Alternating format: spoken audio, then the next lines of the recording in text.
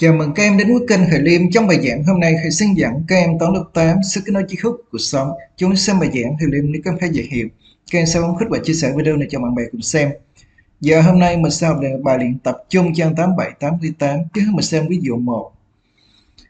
Câu ví dụ 1 người ta kêu mình tìm độ dày x trong hình 4.27. Mình sẽ quan sát hình 4.27.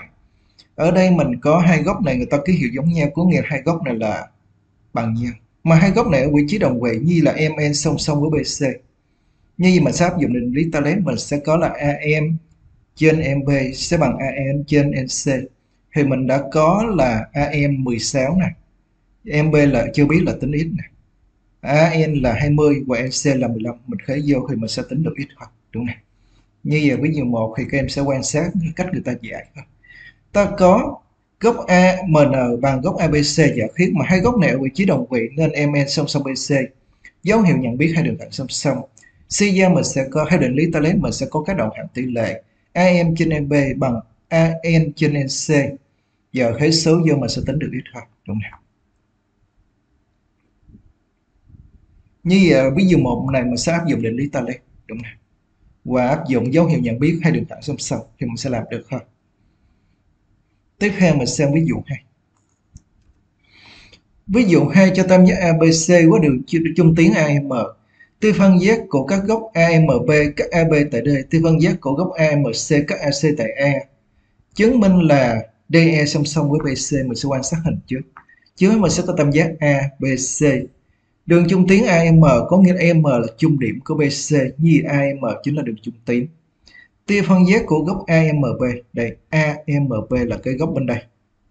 Thì MD chính là đường trung tuyến, đúng này, đường phân giác. MD chính là đường phân giác của góc AMB. Nhưng mình sẽ có các đạo hàm tỷ lệ. Chính là DA trên DB bằng MA trên MB. Đúng này. Tính chất đường phân giác trong tam giác. Tiếp theo cơ mình có là ME chính là tia phân giác của góc AMC nhưng mình sẽ có các đoạn hạng tỷ lệ là EA trên EC bằng MA trên MC. Mà mình có MB M bằng MC vì sao? Vì M là trung điểm BC. Đúng không? Mình xem cách người ta giải nhé.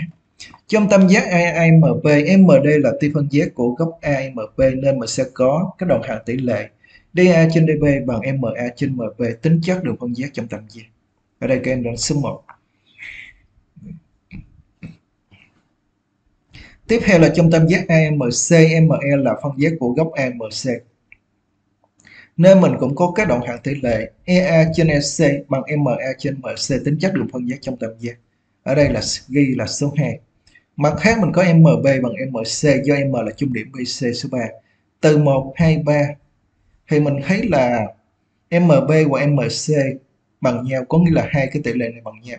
Có nghĩa là hai tỷ lệ này bằng nhau. CE là DA trên DB bằng EA trên EC đúng này mà hai đoạn thẳng mà có các tỷ lệ này khi mình suy ngược là DE sẽ song B, song song với BC đó là định lý Thales đạo mình nhớ là hai đoạn thẳng tỷ, song song sẽ tạo thành các đoạn thẳng tỷ lệ. Các đoạn thẳng tỷ lệ sẽ tạo thành hai đoạn thẳng song song. Đúng này đó là định lý đạo nhé. Định lý Thales đạo tiếp theo mình sẽ quan sát ví dụ 3 Ví dụ 3 cho tam giác ABC vuông tại A. Đường cao AH, H thuộc BC, gọi KI và K lần lượt là trung điểm của AH và BK và HBB. Chứng minh dần IK vuông góc AC mình sẽ quan sát hình trước. Nhưng mà sẽ có tam giác ABC vuông tại A. AH là đường cao H thuộc BC. Y và K lần lượt được là Y và K lần lượt là trung điểm của AH và HB có nghĩa là Y là trung điểm của AH. Đây AH đây, Y là trung điểm của AH đúng này K là trung điểm của HB đây, K là trung điểm HB có nghĩa là hai đoạn này sẽ bằng nhau.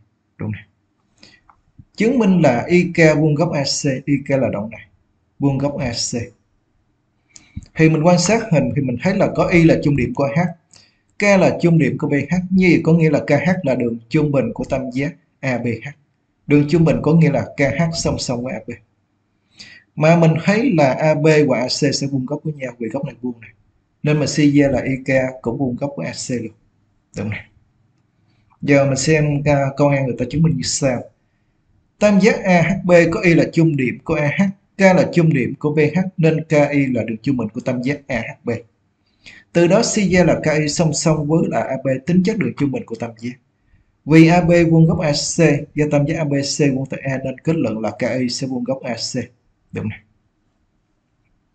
Giờ mình xem câu B. Câu B là mình sẽ chứng minh là AK vuông góc với C. AK AK là cái đường xéo này. Mình sẽ chứng minh vuông góc với là C là cái đường xéo này luôn. Chứng minh hai đường xéo này vuông góc với nhau. Thì mình sẽ quan sát tam giác AKC, quan sát tam giác AKC. Thì mình thấy là đây là vuông này, có nghĩa là AH là đường cao quý nhất. AH vuông góc với KC. Tiếp theo mình vừa chứng minh được là KI vuông góc với là AC. Có nghĩa là đây là hai đường hai đường cao của tam giác AKC. Hai đường cao cắt nhau tại Y có nghĩa là Y là trực tâm. Có nghĩa là CI sẽ là đường cao thứ ba, có nghĩa là CI sẽ vuông góc với lại AK. Đúng không? Giờ mình xem các người ta chứng minh. Câu B tam giác AKC có AH vuông góc của KC giả khí. KI vuông góc của AC chứng minh trên. Hai đường cao cắt nhau tại điểm, đúng không? Vì AH cắt KI tại Y nên Y chính là trực tâm của tam giác AKC. CJ ra là KC, CI sẽ vuông góc với AK, chính là đường cao không ba, đúng này. Giờ các em có thể quan sát cách người ta làm bài, chút nữa mình sẽ làm bài tập nha.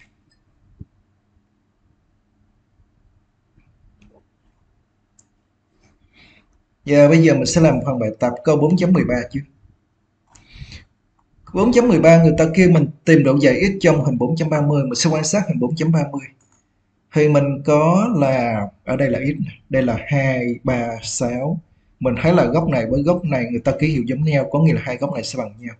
Mà hai góc này ở vị trí số lê trong nên mình kết luận là MN song song với DE. MN song song với DE nên mình sẽ có các đạo hàm tỷ lệ là MF trên MD sẽ bằng NF trên NNE đúng không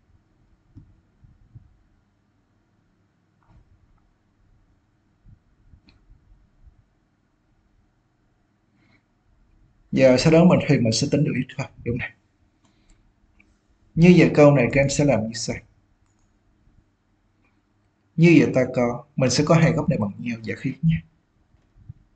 Ta có hai góc bằng nhau. Chính là góc m sẽ bằng góc e hoặc là các em để góc e bằng góc m như vậy góc m ở đây chính là nme nme chính là góc m sẽ bằng góc e. Góc e ở đây chính là dem đúng này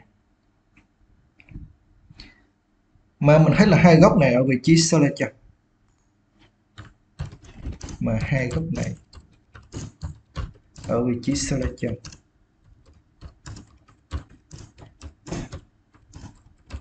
đúng này nên mình kết luận là mình ờ, sẽ song song với lại đi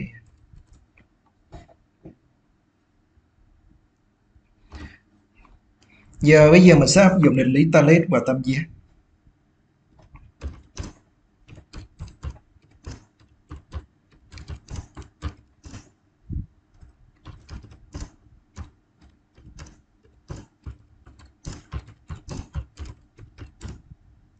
DEF ta có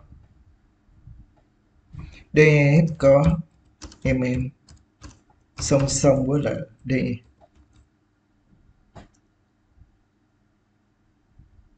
phải ta có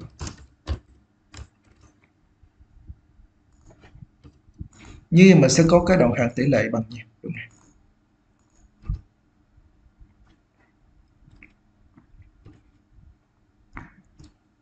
Như vậy mình sẽ có cái đoạn hàm tỷ lệ với nhau là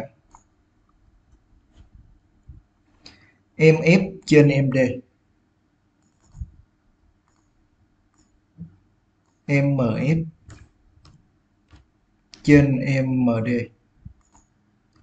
có nghĩa là đoạn trên đoạn phía trên chia, chia cho đoạn phía dưới sẽ bằng. N cũng vậy đoạn phía trên là NF chia cho đoạn phía dưới là n C à. mình hệ số vô. Như vậy n mf ở đây là số 2 còn md sẽ là số 3 bằng nf ở đây chính là x. Và ne ở đây là sao? C giờ x bằng như vậy 6 này đem qua đây như 6 nhân 2 chia 3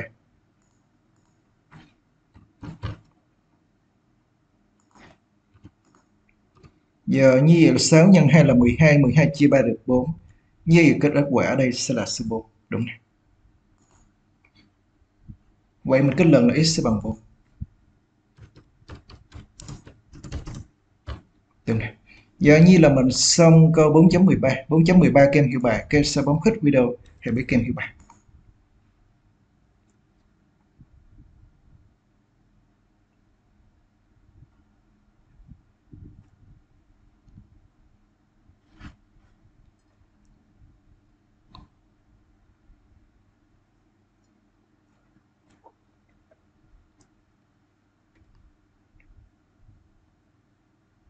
Tiếp theo mình sẽ đến câu 4.14 4.14 người ta cho tứ giác ABCD gọi EFK lần lượt là trung điểm của AD, PC và AC.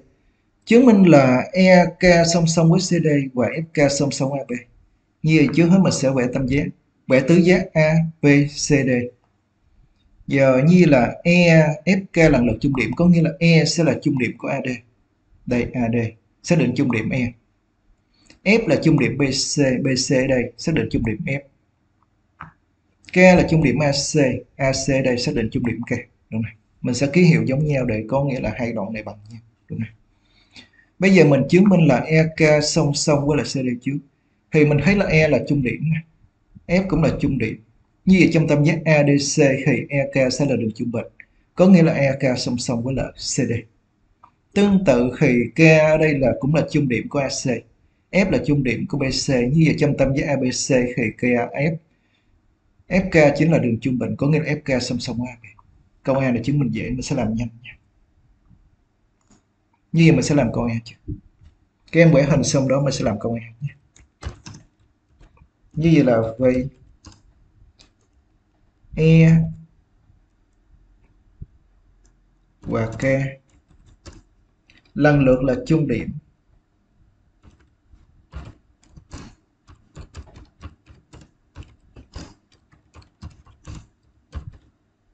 Chung điểm của AD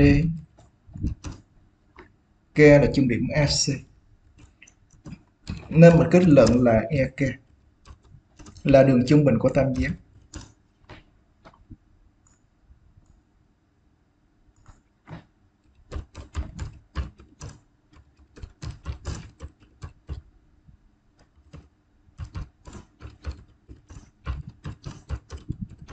Chính là ADC các em để ACD cũng được. C là EK sẽ song song với DC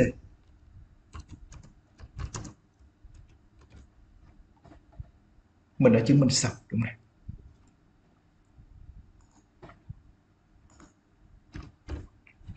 Giờ tiếp theo mình sẽ chứng minh là FK song song với AB mình cũng làm tương tự thôi. Như là vậy. KF các em để FK cũng được. FK hay KF đều được hết. Vì FK lần lượt là trung điểm của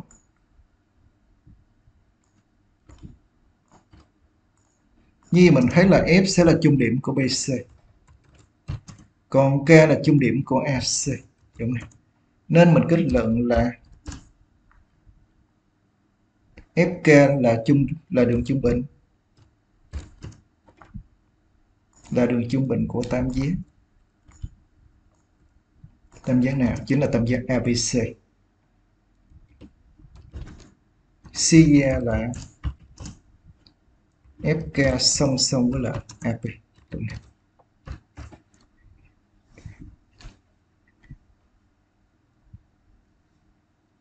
như giờ mình xong câu A, mình sẽ qua tiếp câu B nha.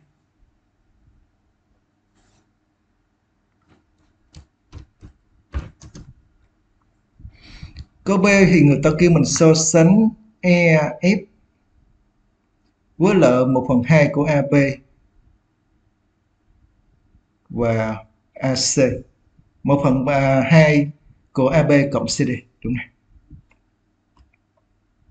Như mình sẽ có là EK sẽ vào là đường trung bình của tam giác ACD nên EK bằng 1 phần 2 CD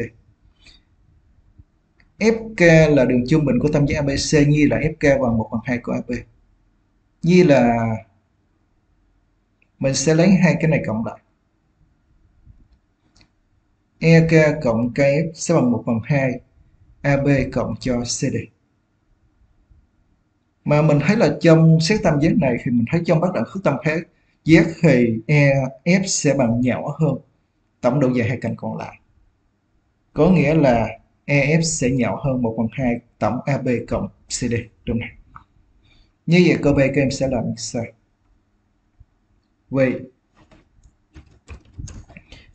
EK là đường trung bình. Vừa mình vừa chứng minh xong đường trung bình của tam giác ACD nên mình sẽ có là EK sẽ bằng nửa CD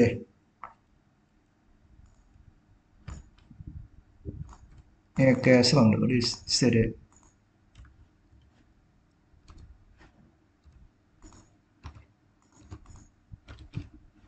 Đúng này tiếp theo là tương tự vì FK là đường trung bình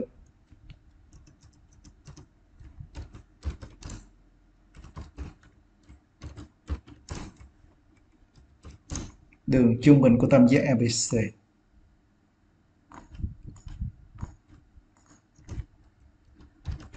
Nên mình kết luận là FK bằng nửa AB.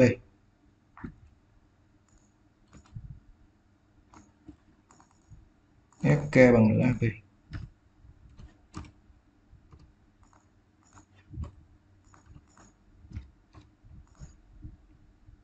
Do đó, hoặc là cái MC ra cũng được.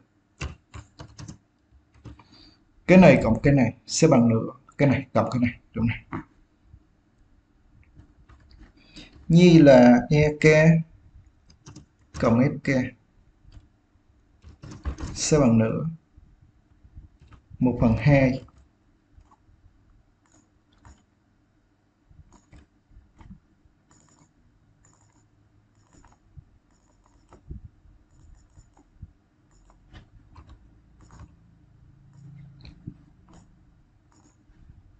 AB cộng CD.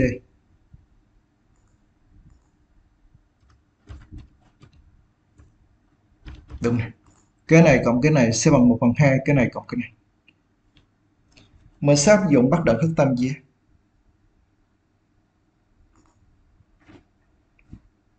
Áp dụng bắt đầu thức tam giác.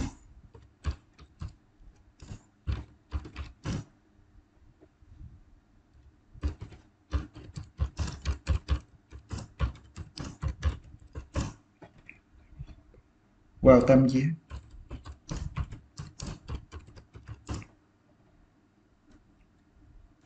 KEF ta có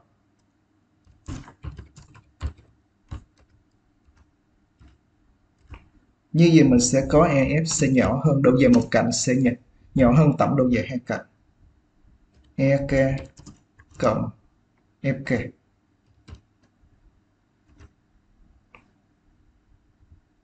C mà mình thấy là hai cái này cộng nhau là bằng này như mà suy ra cái này sẽ nhỏ hơn? EF sẽ nhỏ hơn cái này. Đúng này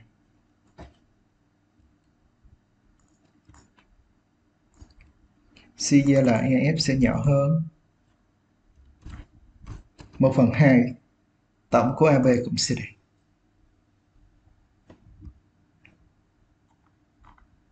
Giờ như là mình đã làm xong câu 4.14 nha. 4.14 kem hiểu bài, cái sau bóng khích video hãy biết kem hiểu bài.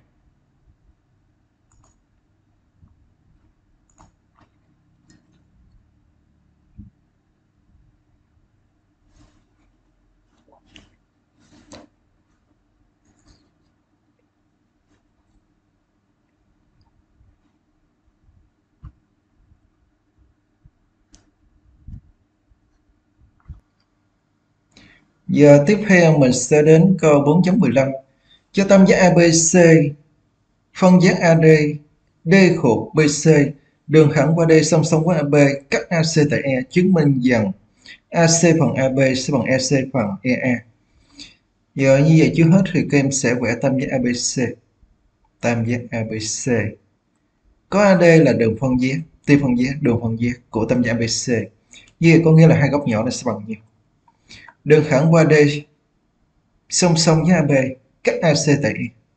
bây giờ mình sẽ chứng minh rằng là AC phần AB sẽ bằng EC phần EA giờ trước hết thì các em sẽ vẽ tam giác ABC giờ mình sẽ đo góc A xem bao nhiêu độ mình sẽ lấy phân nửa. Mình sẽ vẽ đường phân với AD từ đây mình vẽ một đường thẳng song song với AB cắt AC tại điểm chính là điểm E. Trước hết các em sẽ vẽ hình vô, sau đó mình sẽ chứng minh. Như vậy trước hết mình sẽ có AD là tiêu phân giác đường phân giác của tam giác ABC có nghĩa là tiêu phân giác của góc à, PAC mình áp dụng tính chất của đường phân giác trong tam giác thì mình sẽ có AC phần AP sẽ bằng sẽ bằng DC phần DP đúng không? tiếp theo qua D mình sẽ có đường thẳng song song AB có nghĩa là DE sẽ song song với AB thì mình sẽ áp dụng định lý Talet và tam giác, thì mình sẽ có là DC bằng DB sẽ bằng EC phần EA đúng không? từ 1 và 2 mình suy ra cái tỷ lệ thức này. Mình suy ra cái tỷ lệ này. Giờ các em vẽ hình xong mình sẽ chứng minh như sau.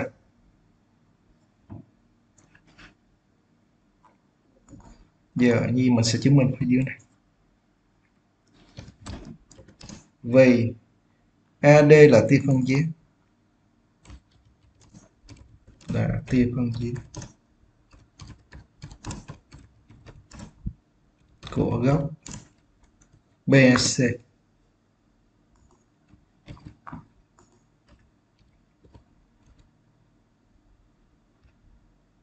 Bây giờ áp dụng tính chất đường phân giác của tam giác áp dụng tính chất.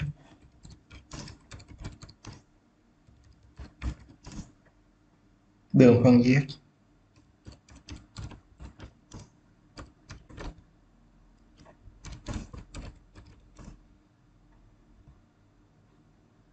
vào tam giác ABC ta có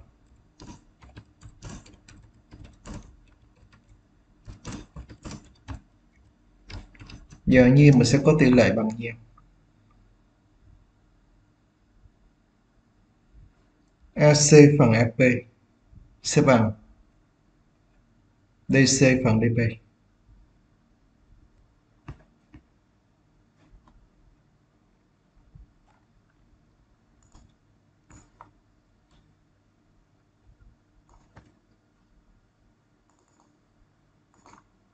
như vậy là AC phần AP sẽ bằng DC phần DP ở đây mình sẽ đánh số 1 chỗ này.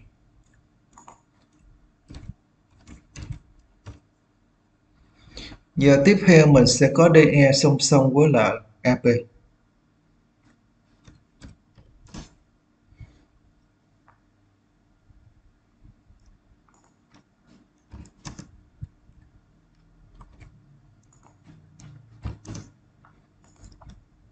vde eh, DE song song AB.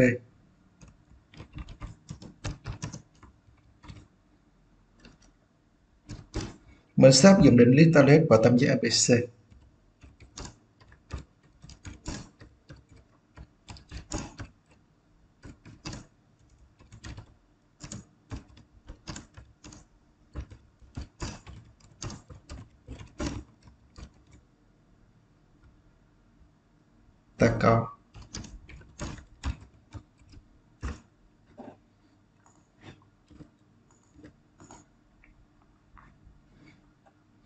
như vậy mình sẽ có là DC phần DB sẽ bằng E, EC phần EA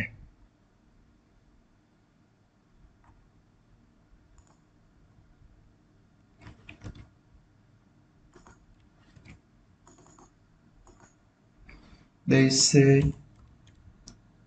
phần DP sẽ bằng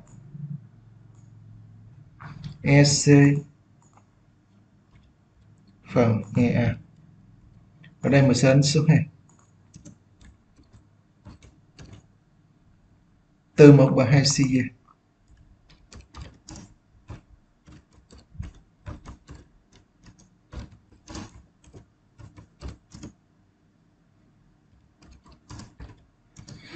như vậy mình sẽ có là DC phần DB giống như. Có nghĩa là cái AC phần AB bằng EC phần EA đúng này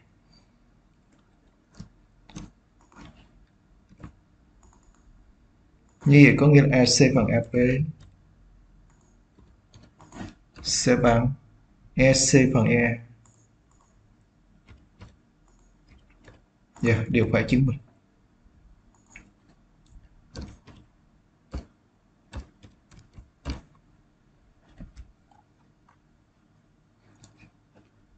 Giờ như là mình xong câu 4.15 nha. 4.15 kem hiệu bài, kem sao bóng thích video hãy biết kem hiệu bài.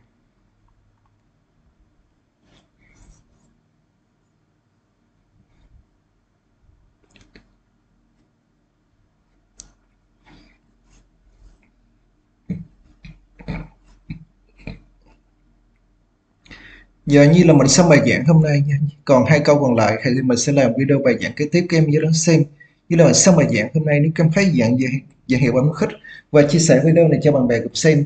Về nay cho đăng ký kênh Hải Liêm kênh sau nút đăng ký bấm chuông để xem bài giảng mới nhất của Hải Liêm. Hãy chúc kèm học tốt, tạm biệt các em nhé.